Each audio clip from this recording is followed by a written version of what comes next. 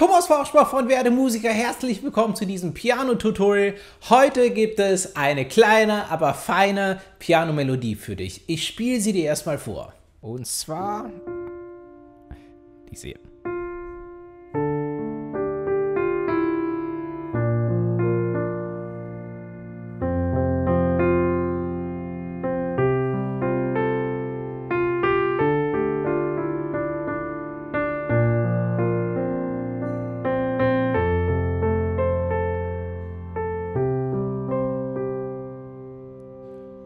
Ja, vielleicht kommt einigen diese Melodie schon bekannt vor. Ähm, vor allen Dingen die Leute, die bei mir bei Spotify oder Apple Music schon vorbeigehört haben, die haben dort bestimmt das Lied Because of You I Dance All Day gefunden. Und ich muss eingestehen, es ist eigentlich ein Coversong und zwar eigentlich ein Coversong von meiner Freundin. Wir haben das Lied zusammen komponiert. Ähm, ich verlinke euch auch mal ihr Original, wo sie auch dazu singt. Ähm, genau, aber das ist die Piano-Version, das ist der Anfang davon. Ähm, das ist auch als Melodie für das heutige Video gedacht. Wenn ihr sagt, wow, aber da möchten wir aber doch jetzt das ganze Lied ähm, gerne lernen, ähm, schreibt es auch in die Kommentare und dann mache ich vielleicht einfach noch weitere Teile zu diesem Lied dazu. Wenn sie dir gefällt und du Lust auf viel mehr solcher Melodien hast, verlinke ich dir hier unten in der Videobeschreibung mal einen Kurs von mir, vollgepackt mit äh, Melodien solcher Art. Außerdem in der Videobeschreibung ist natürlich mein kostenloser Kurs für Anfänger, auch den verlinke ich euch hier unten mal. Und ich habe zwar längere Zeit hier auf dem YouTube-Channel nichts veröffentlicht, aber an vielen Videos ähm, auf meiner Seite gearbeitet werde, musiker.de und vor allen Dingen an viel Musik gearbeitet. Und ähm, es gibt jetzt ganz viel Musik von mir bei äh, Spotify, Apple Music, bei allen Streaming-Diensten. Auch diese Links packe ich euch hier unten mal in die Videobeschreibung rein. Freue mich natürlich, wenn ihr auch da mal vorbeischaut. Und jetzt viel Spaß mit dieser Klaviermelodie. Okay, also, wir haben vier Akkorde hier bei dem Stück. Und zwar ist das der Akkord D-Moll, B-Dur, F-Dur und C-Dur. Ähm, das ist ganz gut, die auch erstmal so spielen zu können, wie ich das gerade gemacht habe, mit dem D-Moll-Akkord D-F-A. Der linken Hand das D. Ja, und zum Beispiel beide zusammen anschlagen. Und dann die rechte Hand. Drei, 4, dann auf den B-Dur-Akkord und zwar so. B, D, F und hier in der linken Hand das B. So, Achtung, das waren beides Akkorde in der Grundstellung. Jetzt kommt F-Dur. In der rechten Hand ist es äh, mit dem C als tief, ähm, Tiefston. C, F, A. Das gleiche, zusammen. Rechts, rechts, rechts und zusammen. C-Dur. C, E, G. Links das C. Eins, zwei, drei, vier. So, das wäre ein erstes schönes Ziel für dich, wenn du das so spielen kannst.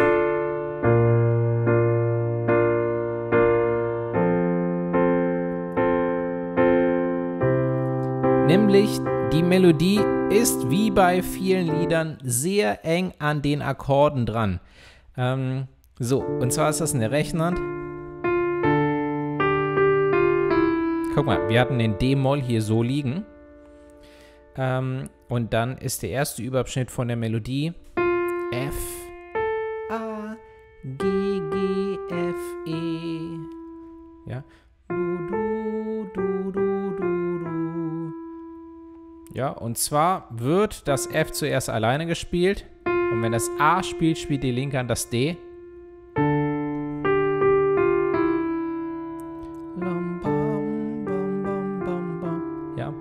Übrigens am besten das D am Anfang hier mit dem Mittelfinger in der linken Hand. Ja, dann geht es später recht aus auf den nächsten Ton. So, also das ist der erste Überabschnitt. Erstmal die rechte Hand allein natürlich. Dann zusammen.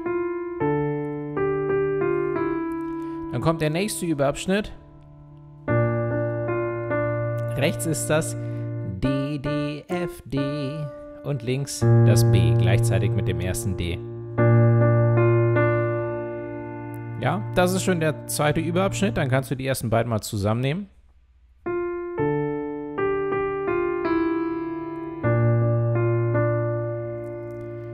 Als nächstes kommt der F-Dur-Akkord.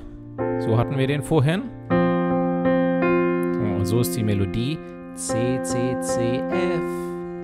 1, 2, 3, F. Ja, und auch am Anfang C und F zusammen. Wenn wir die linke Hand dazu nehmen, das F wird hier mit dem Daumen gespielt. Und dann, das ist der vierte Abschnitt. F, G,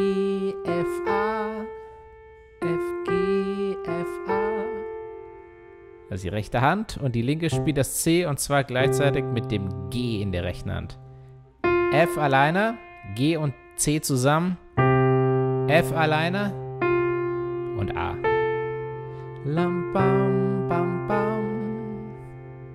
Ja, ich spiele mal alle vier Abschnitte langsam zusammen.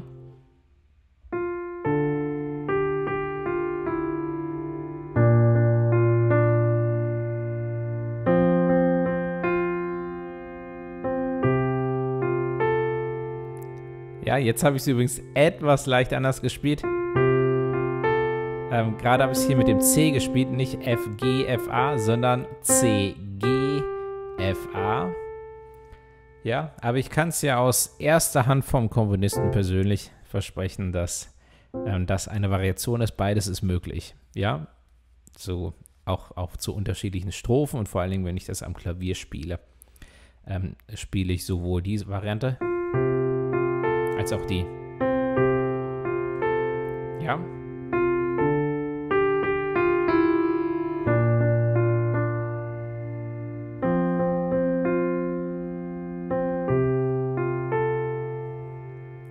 So, wenn du das Ganze jetzt ein bisschen fortgeschrittener spielen möchtest, kannst du in der linken Hand ähm, die Akkorde gebrochen spielen. D, F, A, B, D, Äh, F, A, C, ja, der F-Dur-Akkord, und C, E, G, der C-Dur-Akkord.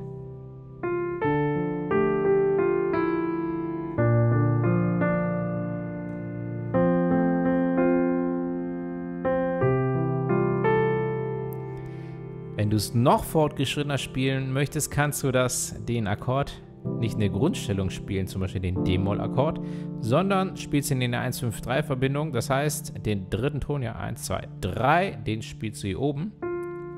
Anstelle von hier, also C, A, F. So, da kommen wir uns hier ein bisschen in die Quere. Das heißt, entweder spielst du das hier unten oder alles ein Oktav höher. Das mache ich mal kurz. Das klingt dann so.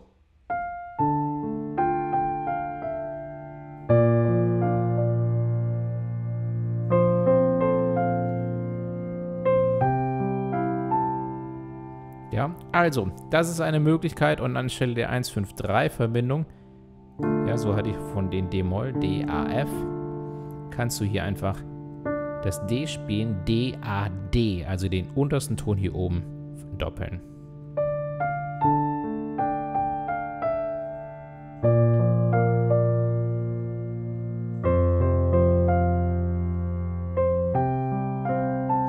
Super.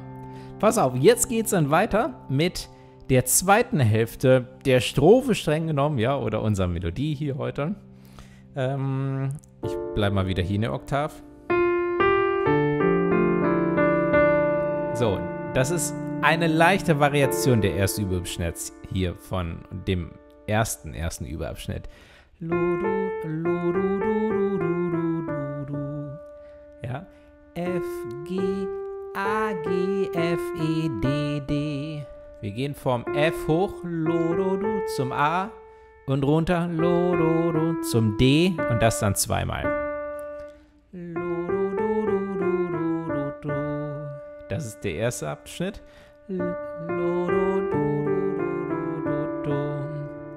Achtung, jetzt kommt der zweite.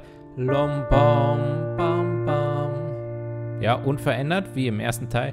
D, D, F, D. Achtung, jetzt aber neu.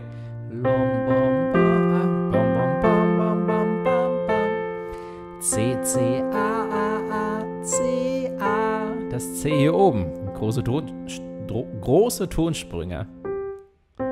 Nochmal. C, C, A, A, A, C, A.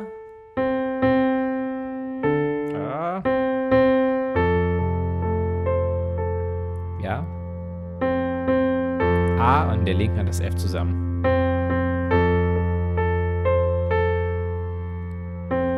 Das ist der dritte Abschnitt. Und jetzt der vierte. A, G, G, C, G.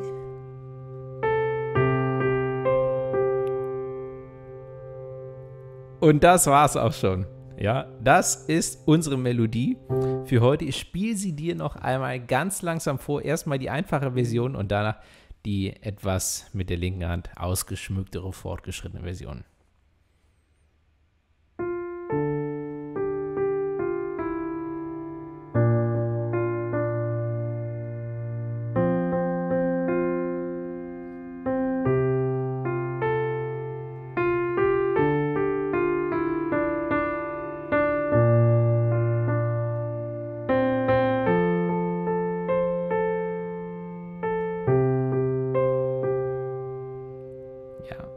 Etwas ausschmücken.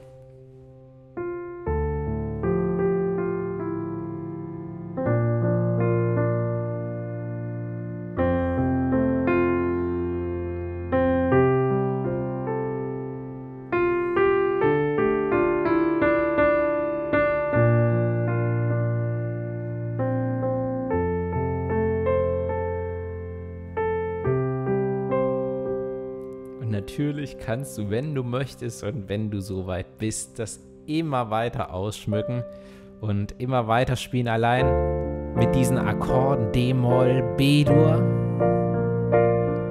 F-Dur und C-Dur.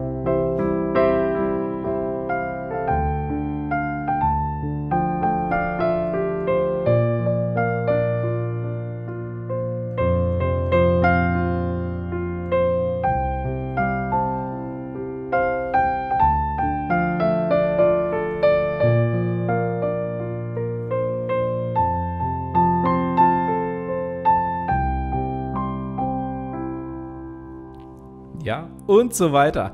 Also, ich hoffe vor allen Dingen, du hast ganz, ganz viel Spaß ähm, mit dieser Melodie. Ich hoffe, sie gefällt dir sehr, wenn du sie dir einfach mal immer wieder anhören möchtest, von mir gespielt. Schau doch mal bei Apple Music und Spotify vorbei. Ich verlinke dir das unten. Ähm, Because of You, I Dance All Day heißt das Lied. Ich verlinke dir außerdem die Originalversion, quasi von meiner Freundin gesungen. Ähm, ähm, auch hier unten in der Videobeschreibung. Ich verlinke dir außerdem äh, den, äh, den Kurs, wo es ganz viele wunderschöne kleine Klaviermelodien gibt. Äh, meine schönsten Klaviermelodien ähm, heißt der Kurs. Ähm, das verlinke ich dir. Und wie immer freue ich mich natürlich über deinen Besuch auf meiner Seite werdemusiker.de. Hör mal, vielen, vielen Dank, dass du hier bist. Vielen Dank fürs Zuschauen, fürs Mitmachen. Ich freue mich schon auf dich im nächsten Video. Mach's gut, bis dann. Ciao.